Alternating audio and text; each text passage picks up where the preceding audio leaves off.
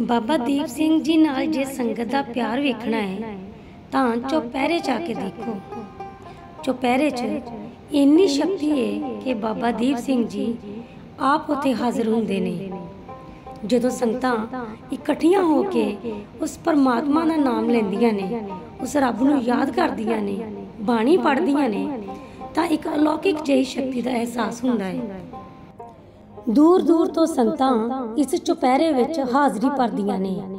ਪਿੰਡਾਂ ਦੀਆਂ ਸੰਗਤਾਂ ਤੇ ਉਸ ਅਕਾਲ ਪੁਰਖ ਨੂੰ ਯਾਦ ਕਰਦੀਆਂ ਨੇ।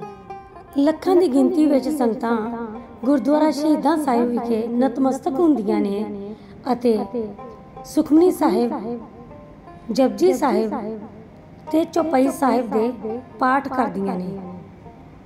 ਸੱਚ ਜਾਣਿਓ ਇਸ ਵੇਲੇ ਜੋ ਅਲੌਕਿਕ ਨਜ਼ਾਰਾ ਹੁੰਦਾ ਹੈ, ਉਹ ਵੇਖਿਆ ਹੀ ਬਣਦਾ ਹੈ। ਅਕਾਲ ਪੁਰਖ ਦੀ ਇੰਨੀ ਕਿਰਪਾ ਹੈ ਕਿ ਜੇਕਰ ਹਰ ਪਾਸੇ ਤੋਂ ਨਿਰਾਸ਼ ਬੰਦਾ ਬਾਬਾ ਦੀਪ ਸਿੰਘ ਜੀ ਦੇ ਦਰ ਤੋਂ ਝੋਲੀਆਂ ਭਰ ਕੇ ਵਾਪਸ ਪਰਤਦਾ ਹੈ। ਐਤਵਾਰ ਵਾਲੇ ਦਿਨ, ਚੁਪਹਿਰੇ ਸਮੇਂ, ਗੁਰਦੁਆਰਾ ਸ਼ਹੀਦਾਂ ਸਾਹਿਬ ਵਿਖੇ ਤਿਲ ਸੁੱਟਣ ਨੂੰ ਵੀ ਜਗ੍ਹਾ ਨਹੀਂ ਹੁੰਦੀ। ਸੰਗਤਾਂ ਅੰਮ੍ਰਿਤ ਵੇਲੇ ਤੋਂ ਹੀ ਗੁਰੂ ਘਰ ਪਹੁੰਚਣੀਆਂ ਸ਼ੁਰੂ ਹੋ ਜਾਂਦੀਆਂ ਨੇ ਤੇ ਤੇ ਦੁਪਹਿਰ ਤੱਕ ਸੰਗਤਾਂ ਦਾ ਹੜ ਗੁਰੂ ਘਰ ਦੀ ਦਲੀਜ਼ਾਂ ਤੱਕ ਹੋ ਜਾਂਦਾ ਹੈ। ਕੀ ਜੋੜਾ ਘਰ ਗੁਰਦੁਆਰਾ ਸਾਹਿਬ ਦੇ ਬੂਹੇ ਤੱਕ ਸੰਗਤਾਂ ਹੀ ਸੰਗਤਾਂ ਨਜ਼ਰ ਆਉਂਦੀਆਂ ਨੇ।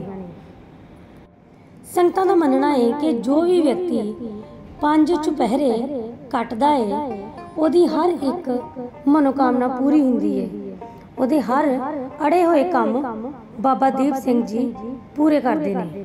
ਚੁਪਹਿਰੇ 'ਚ ਕੀਤਾ ਪਾਠ, ਸਬਰ ਦਿੰਦਾ ਹੈ ਸੰਤੋਖ ਦਿੰਦਾ ਹੈ ਤੇ ਇਸ ਗੱਲ ਦਾ ਅਹਿਸਾਸ ਹੁੰਦਾ ਹੈ ਕਿ ਜਿੱਥੇ ਦੁਨੀਆ ਦਾ ਕੋਈ ਵੀ ਰਿਸ਼ਤਾ ਤੁਹਾਡੇ ਨੇੜੇ ਨਹੀਂ ਲੱਗਦਾ, ਔਖੇ ਵੇਲੇ ਤੁਹਾਡਾ ਕੋਈ ਸਹਾਈ ਨਹੀਂ ਹੁੰਦਾ, ਉੱਥੇ ਬਾਬਾ ਦੀਪ ਸਿੰਘ ਜੀ ਆਪ ਤੁਹਾਡੀ ਬਾਹ ਫੜਦੇ ਨੇ। ਬਸ ਇੱਕ ਵਾਰ ਉਹਨਾਂ ਨੂੰ ਸੱਚੇ ਦਿਲੋਂ ਯਾਦ ਕਰਨ ਦੀ ਲੋੜ ਹੁੰਦੀ ਹੈ। ਬਾਬਾ ਦੀਪ ਸਿੰਘ ਜੀ ਨਾਲ ਜੇ ਸੰਗਤ ਦਾ ਪਿਆਰ ਵੇਖਣਾ ਹੈ, ਤਾਂ ਚੁਪਹਿਰੇ ਚ ਆ ਕੇ ਦੇਖੋ।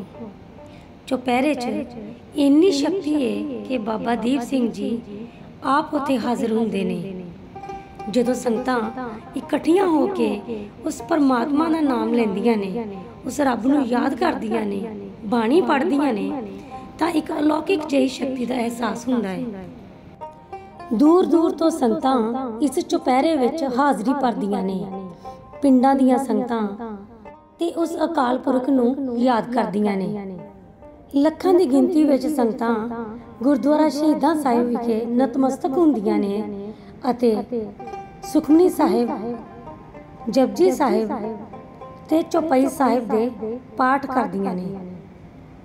ਸੱਚ ਜਾਣਿਓ, ਇਸ ਵੇਲੇ ਜੋ ਅਲੌਕਿਕ ਨਜ਼ਾਰਾ ਹੁੰਦਾ ਹੈ ਉਹ ਵੇਖਿਆ ਹੀ ਬਣਦਾ ਹੈ ਅਕਾਲ ਪੁਰਖ ਦੀ ਇੰਨੀ ਕਿਰਪਾ ਹੈ ਕਿ ਜੇਕਰ ਹਰ ਪਾਸੇ ਤੋਂ ਨਿਰਾਸ਼ ਬੰਦਾ ਬਾਬਾ ਦੀਪ ਸਿੰਘ ਜੀ ਦੇ ਦਰ ਤੋਂ ਝੋਲੀਆਂ ਭਰ ਕੇ ਵਾਪਸ ਪਰਤਦਾ ਹੈ ਐਤਵਾਰ ਵਾਲੇ ਦਿਨ, ਚੁਪਹਿਰੇ ਸਮੇਂ, ਗੁਰਦੁਆਰਾ ਸ਼ਹੀਦਾਂ ਸਾਹਿਬ ਵਿਖੇ ਤਿਲ ਸੁੱਟਣ ਨੂੰ ਵੀ ਜਗ੍ਹਾ ਨਹੀਂ ਹੁੰਦੀ।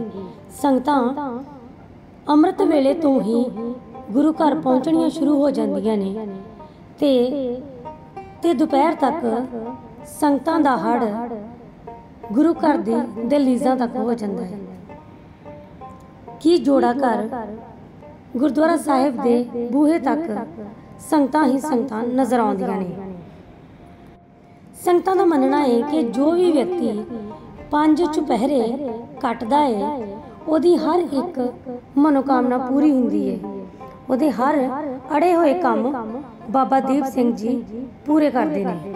ਚੁਪਹਿਰੇ 'ਚ ਕੀਤਾ ਪਾਠ, ਸਬਰ ਦਿੰਦਾ ਹੈ ਸੰਤੋਖ ਦਿੰਦਾ ਹੈ ਤੇ ਇਸ ਗੱਲ ਦਾ ਅਹਿਸਾਸ ਹੁੰਦਾ ਹੈ ਕਿ ਜਿੱਥੇ ਦੁਨੀਆ ਦਾ ਕੋਈ ਵੀ ਰਿਸ਼ਤਾ ਤੁਹਾਡੇ ਨੇੜੇ ਨਹੀਂ ਲੱਗਦਾ, ਔਖੇ ਵੇਲੇ ਤੁਹਾਡਾ ਕੋਈ ਸਹਾਈ ਨਹੀਂ ਹੁੰਦਾ, ਉੱਥੇ ਬਾਬਾ ਦੀਪ ਸਿੰਘ ਜੀ ਆਪ ਤੁਹਾਡੀ ਬਾਹ ਫੜਦੇ ਨੇ।